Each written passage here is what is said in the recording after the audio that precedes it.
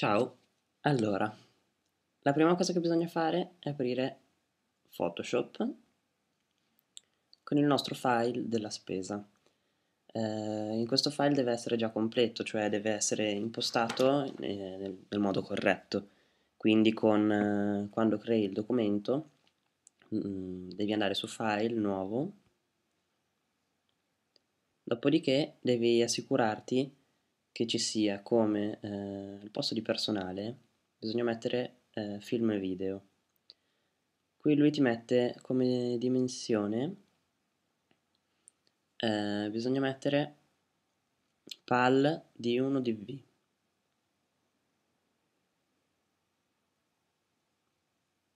E poi come eh, proporzione pixel il pixel quadrato. Eh, il resto lo lasciamo tutto così com'è compresi l'RGB che è la risoluzione adatta di colori per il video. E nient'altro. Si fa su ok e poi si, si, inizia a lavorarci sopra.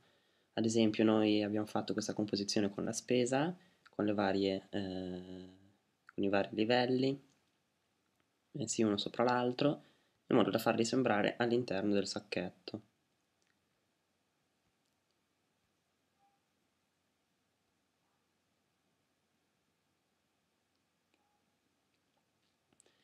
Quando abbiamo finito tutto eh, ci assicuriamo di mettere come sfondo un gradiente grigio per dare un tocco di profondità. A questo punto andiamo su After Effects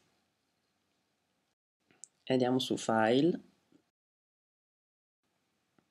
Importa, File. Dal menu eh, andiamo a cercare il nostro eh, documento eh, il documento spesa che abbiamo appena finito di fare. Ce l'abbiamo qui, spesa, PSD project, spesa PSD, perfetto. Ci fa vedere l'anteprima, ok, va benissimo. Ehm, dobbiamo importarlo non come metraggio, ma come composizione livelli ritagliati. Questo ci permette di eh, regolare eh, i singoli elementi eh, anche in, in After Effects, ad esempio modificare la, la dimensione e altre cose. Andiamo su Apri, ci esce fuori quest'altra tendina, qua lasciamo composizione livelli ritagliati, F Photoshop 3D in realtà a noi non serve visto che gli oggetti sono eh, semplicemente bidimensionali. E qua lasciamo ok.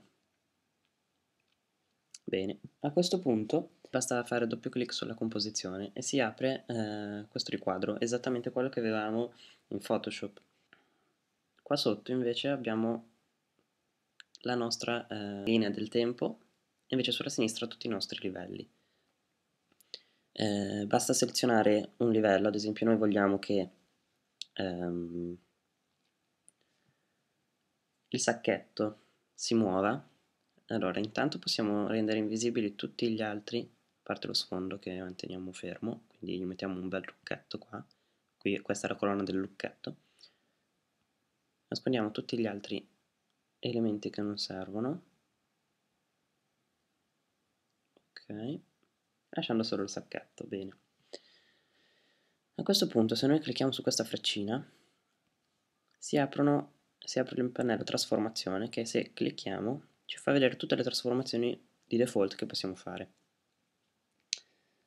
Allora, la prima cosa che si può fare con un sacchetto, ad esempio, è spostarlo.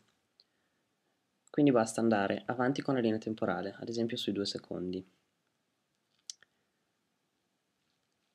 Andiamo su eh, posizione, clicchiamo sul cronometro e a questo punto basta che noi, se ci spostiamo ancora allo zero, sulla, con la linea temporale, spostiamo il sacchetto tenendo premuto shift in modo tale da averlo dritto andiamo fuori, lasciamo e adesso abbiamo già pronta la nostra animazione.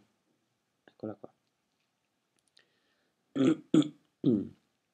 per fare l'effetto, ehm, ah, tenendo premuto Shift, il, la linea temporale si sposta esattamente sui nostri cursori, cioè sui nostri keyframe.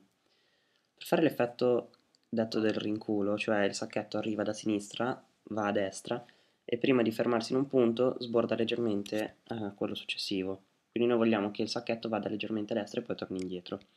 Per fare questo dobbiamo fare, tornare indietro un attimo con la linea temporale ma di proprio poco e spostiamo il sacchetto leggermente dopo.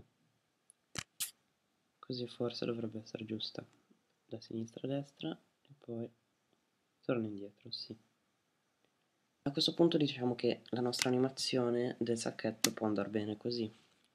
L'unica cosa che dobbiamo fare è per rendere un po' più fluido il, il lavoro è inserire il motion blur. Il motion blur eh, è quell'effetto che ad esempio se noi in un film, eh, l'esempio che mi sembra eclatante è quello dei film d'animazione, noi facciamo pausa e i soggetti sono sfocati, cioè non, non riusciamo ad avere in un fotogramma eh, l'immagine totalmente nitida. Questo per, eh, serve per rendere più fluido il, il, movimento. Per fare ciò basta che noi attiviamo l'effetto movimento nel, nella composizione in generale. Questo è questo, questo simbolo. Glielo clicchiamo. In questo modo noi possiamo inserire il motion blur all'interno della nostra animazione. Se noi adesso eh, clicchiamo su qui, motion blur, è lo stesso simbolo, lo attiviamo per questo livello, cioè il sacchetto. In questo modo tutto il sacchetto avrà l'effetto del motion blur. Infatti se noi ci, ci fermiamo in un momento, guarda qui, il sacchetto non è più nitido, è mosso diciamo. Questo effetto si vedrà molto di più se noi riduciamo i tempi. Ad esempio, un modo per ridurre i tempi è prendere i due eh, keyframe e spostarli a un tempo precedente. Ad esempio così. Se noi infatti adesso guardiamo l'animazione sarà molto più veloce. Per vedere l'animazione come anteprima basta premere la barra spaziatrice. Ecco. A questo punto noi dobbiamo inserire solo eh, facciamo l'esempio della, della banana. Qui possiamo ehm, ridurre questa cosa qua, prendiamo le banane, eccole qui, le mostriamo. Noi ce le ritroviamo esattamente qui, in una posizione che è quella finale, cioè noi alla fine dell'animazione dobbiamo avere lì le banane. Quindi noi ci spostiamo, ad esempio, su, eh, non so, qua, due secondi, inseriamo, eh, andiamo sulle banane, apriamo il menu tendina, trasformazione, perfetto, e clicchiamo sul cronometro della posizione perché la nostra animazione è sulla posizione. In questo modo viene inserito un keyframe, ci spostiamo prima, in un momento in cui ad esempio il sacchetto si sta fermando, possiamo iniziare a far entrare le, le banane e le spostiamo. Spostiamo e mettiamo qui fuori, ad esempio. In questo modo l'animazione è già fatta, vedi? Entrano così. Ho detto che la nostra animazione prevede di eh, renderla un po' più eh, realistica, cioè le banane non potranno mai cadere in questo modo, anche non siano appese un filo. Eh, dunque gli creiamo un'animazione di diverso tipo, cioè quella di rotazione. Per la rotazione noi andiamo qui e troviamo questo, clicchiamo sul cronometro, qua scegliamo il numero di giri e i, i gradi dopo i giri allora andiamo qua. Inseriamo la rotazione.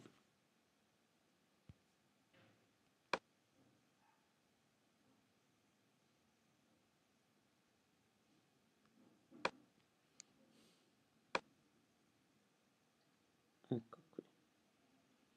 Questa è un po' lenta però. Quindi prendiamo